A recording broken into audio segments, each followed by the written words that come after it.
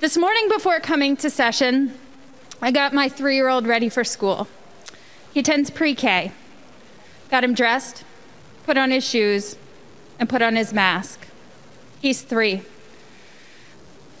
He spends all day surrounded by other three and four year olds who also wear masks all day long, as do their teachers.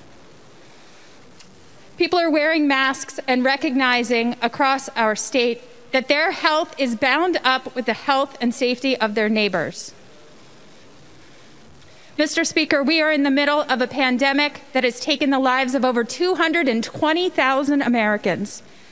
Our own BMC acted swiftly to outline safety protocols for the people who work in and for this body, similar to those rules that protect workers across the Commonwealth. Now we see in the news that our state has gone 14 days with a thousand plus new cases. This should be truly disturbing to all of us. I know it is to me. I think about it every single time I send my three year old to his school. Mr. Speaker, COVID is a deadly virus for which there is no cure and no vaccine. Mitigation efforts, simple ones, like wearing a mask, are proven to reduce the risk of workplace transmission, whether you work in a grocery store, a restaurant, or in the state house.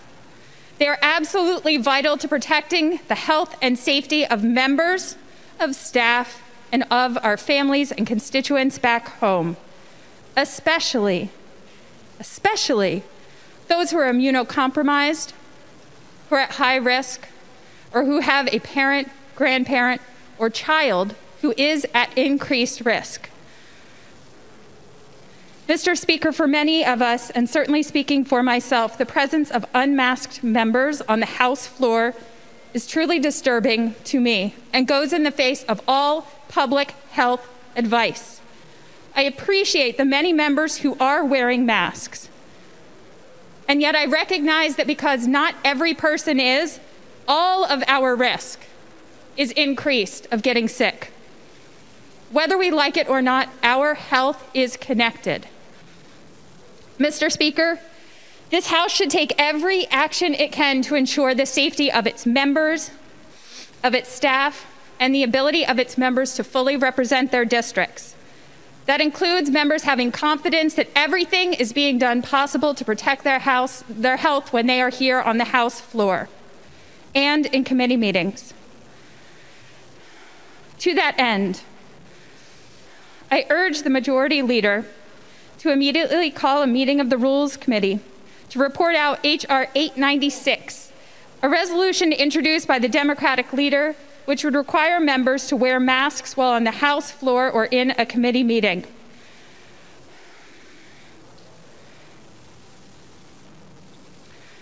Mr. Speaker, many of us are mourning the loss of loved ones and of neighbors and of constituents.